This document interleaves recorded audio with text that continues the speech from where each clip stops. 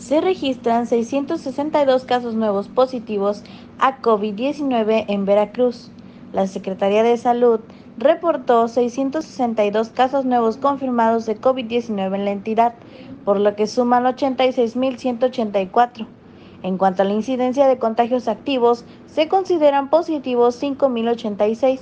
Las autoridades indican que estas personas iniciaron síntomas en los últimos 14 días y pueden propagar el virus.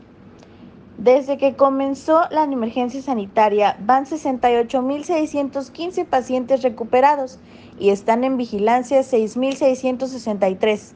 Los fallecimientos son 10.906 con nueve definiciones recientes y se contabilizan 92.677 resultados negativos y 12.084 sospechosos acumulados. Reportó para Radio Bemba Veracruz, Brisa Arcos.